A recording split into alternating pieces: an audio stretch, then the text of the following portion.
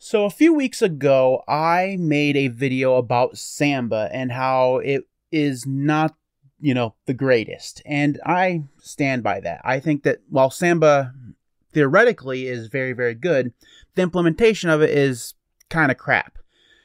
And in the comments of that video, I received many comments, like hundreds of comments just saying, Matt, don't use Samba. There were many different suggestions over what I should use, but primarily the one that came up the most was SSHFS. Now, I had heard of this. Brodie made a video about it a while back, and I know DT had made a video about it. So I'd heard of this, but I never actually looked into it. And uh, I put it on my list of things to do and put it in a browser tab, in other words and I decided that I would eventually come back to it and actually take a look at it. And I finally have had a chance to do so, and I wanted to make a video about it. I want to show you how it works and everything that goes into actually setting it up. So that's what we're going to do today. But first, before I jump into it, I just want to point out that this project has been abandoned. It's unfortunate because it's actually fantastic. It's like life changingly good but it is no longer being developed. So if that's something that bothers you, just stop here. You don't need to continue on. It does still work, is where it is at right now. As of the time I'm recording this video, SSHFS still works fine on every distro that I've tried it on, which entails Gentoo and Ubuntu and Debian. So those three distros, it still works just fine on. So you should still be able to use it even though it's no longer being developed. So now that that's out of the way, let's go ahead and jump in. To begin with, before we get started on the how to, let's talk about what SSHFS actually is. At the base level, most simplest explanation, SSHFS is simply the ability to use SSH to mount a remote file system on a host. So, for example, in the example I'm going to be using in this tutorial, I'm going to be mounting the file system of this VM, which you're staring at on screen right now, which is a Debian VM. I'm going to mount that on my host main machine, the machine that I use as a daily driver that has Redcore on it. The idea here is that you'll have the file system of the remote server on your main machine where you can access it and transfer files to and fro, whatever you need to do. And it just acts like a file or directory on your system as if it's always been there. It's really quite cool. And you'll see more what I'm talking about as I actually set this up. So, how do you do that? So, first, you're going to need a terminal. So, open up a terminal. This is Konsole. It doesn't really matter what terminal you're using, whatever your favorite terminal is. And you're going to need to, on the server machine, and when I say the server, server machine, I mean the machine or the, the distro or whatever that you're going to want to mount on your main machine. So this is going to be the source of all the files. On that machine, you're going to want to install OpenSSH server. Now, depending on what distribution you're on, this is going to be a different package name.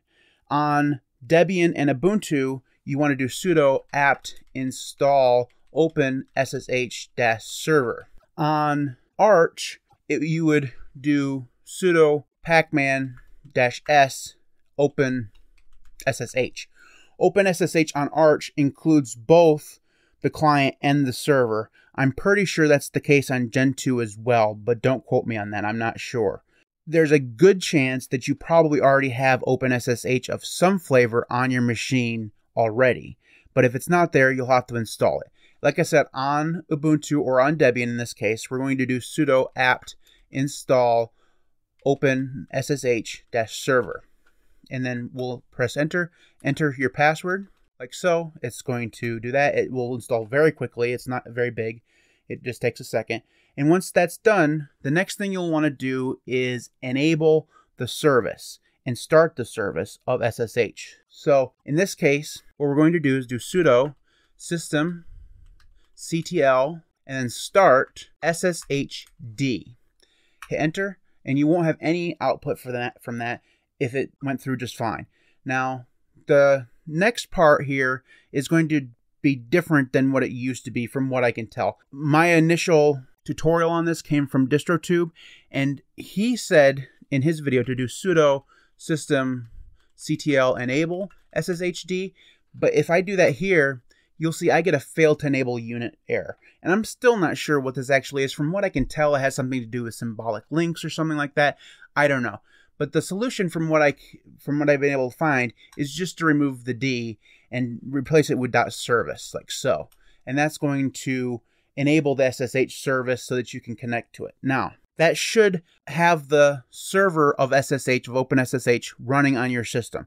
And you shouldn't have to restart or anything because we started that in this line here. So we're almost done now with the, the server side implementation of SSHFS. All you have to do next is find the IP address, and you can do that by doing IP ADDR. You're going to have to spell it right, which I can't seem to do. Now, if you're new to Linux, this probably looks like a bunch of gobbledygook. It kind of is. Most of it you can just flat out ignore. What you're going to need is this IP address right here. And you can just copy that.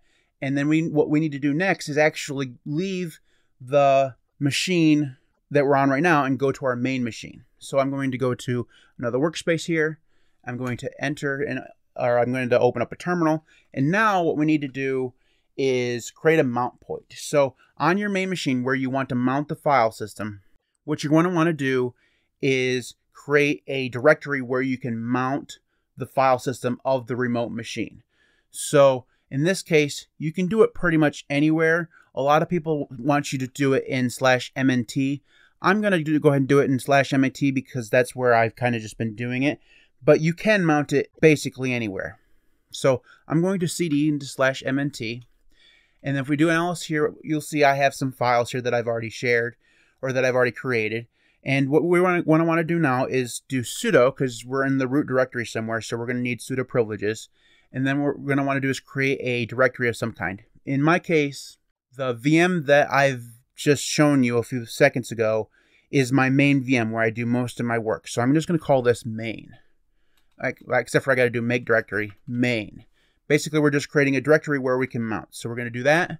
It'll ask us for a password. And then if we do an ls here again, you can see that there's now a main directory. Now there's one other thing we need to do before we mount the SSHFS. Uh, we need to change the ownership of main. Now this only is required if you're creating a directory in slash mnt. If you've created inside your home directory, you can skip this step because you already own that directory. In this case, if we do this, you can see that the ownership of main, which is right here, is actually root. So what we need to do is change that to your, my user. So I'm going to do sudo chown uh, my username and then colon my username again and then the name of the directory. So in this case, just like that. There should be no output as long, and if we do LSA again, uh, we can see that main is now owned by uh, Dr. MW, which is my username. I think I pointed to the wrong one up here when I was talking about this. You can see what it was owned by root. Now it's owned by Dr. MW. I'm not sure why EXA does things in columns. That's just that that really messed with my brain there for a minute, but it doesn't matter. Anyways, now that we have the proper ownership, now we can mount our file system. It's really quite simple. So if you ever need to know what the syntax for SSHFS is, you can use the man page. I actually completely passed over installing SSHFS, which I probably should, you know, actually show you because it's really simple. Just do sudo, just do, if you're on Arch, do sudo uh, pacman dash s and then sshfs.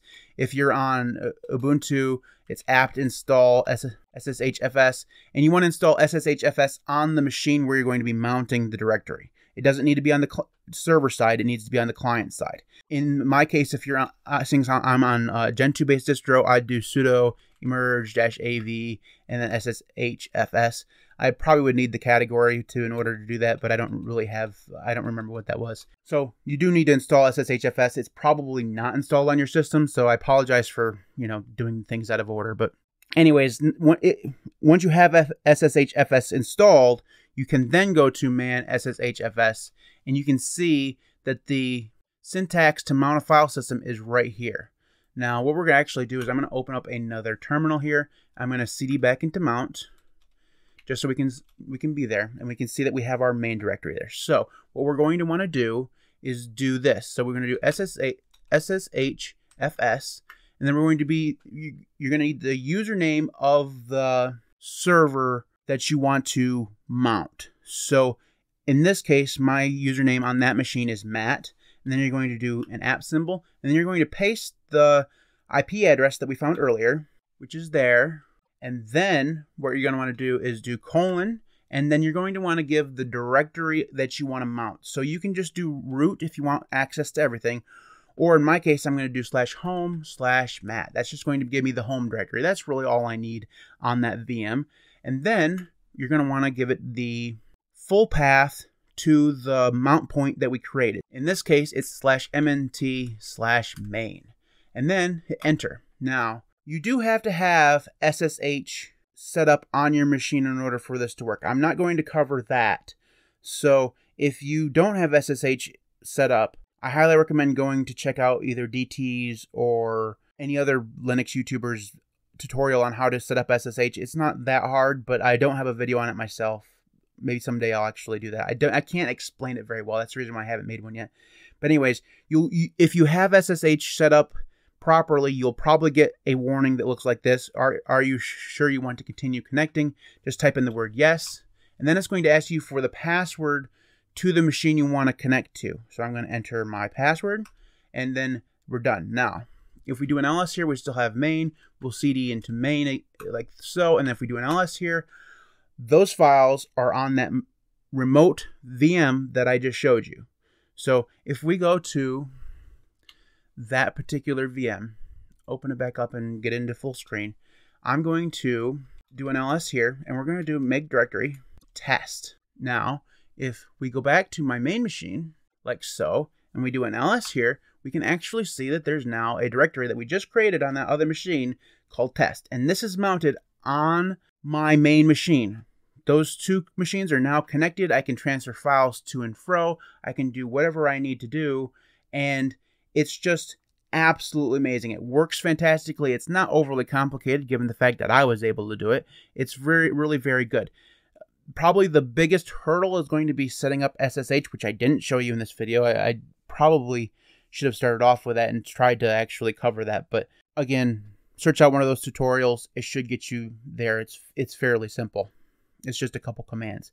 So now that I have all of those files mounted on this machine, I can do basically whatever I want. If I wanted to unmount them, I do F U S E R M O U N T dash U slash mnt slash main. And that would unmount the server from this machine, and I'd no longer have access to those files. Now, there's a couple other things that you'll want to do. Now, there's a couple other things that you'll want to keep in mind. First, you will have to run this command or you know with your IP address and all that stuff every time you want to connect usually at the beginning of your session especially if you're connecting to a machine that's not always on. So like my VM is not always on.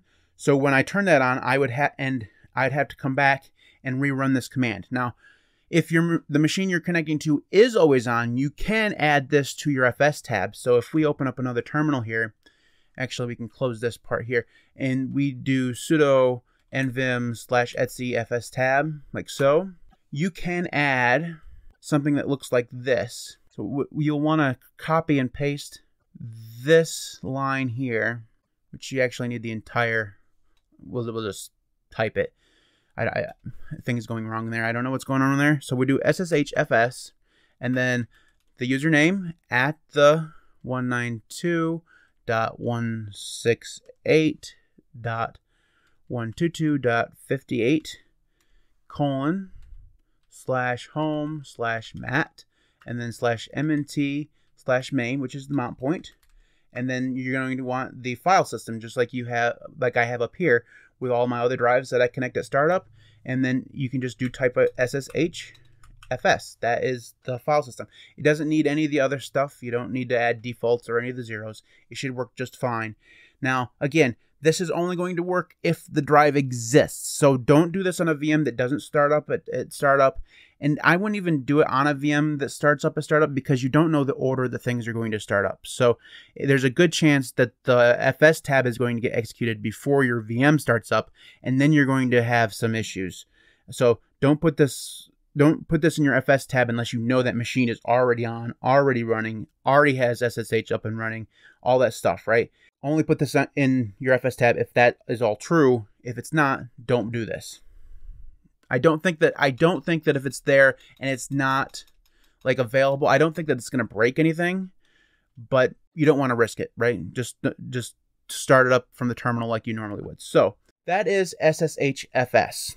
And honestly, I think that this may be the best tool that I've found in ages. And the folks who left comments on that initial video about Samba, thank you for doing that. Even though at the time I found it super annoying because because like like everyone said, Matt, try SSHFS. There's like a hundred comments. SSHFS, SSHFS, SSH. Like, like I get it, guys. Just read other people's comments. You'll see other people have recommended it. But you're all right. It's awesome. I am highly disappointed that it's not being maintained anymore. I hope someone else picks it up because it is fantastic. I don't want it to die. Usually, when a, pro- a project like this gets abandoned, it eventually breaks, and that just makes everybody sad. Uh, I'm hoping somebody else will pick it up and actually continue to develop it so that it doesn't die. Uh, but as of right now, it still works, and I'm going to be happy until it, you know, stops working. So that is it for this video. If you have questions or comments, you can leave those in the comment section below. I'd love to hear from you. I uh, apologize for the, you know, things not being in order. I should have covered the installation, you know, at the beginning of the video instead of halfway through. But, you know, uh, you know me. Anyways, that's it for this video. You can follow me on Mastodon or Odysee. Those links will be in the video description. You can support me on Patreon at patreon.com slash linuxcast. Links for Liberapay and YouTube will be in the video description as well. Thanks to everybody who does support me on Patreon and YouTube. You guys are all absolutely amazing. Without you, the channel would not be anywhere near where it is right now. So thank you so very, very much for your support. I truly do appreciate it. You guys are all awesome. Thank you so much for your support. Thanks everybody for watching. I'll see you next time.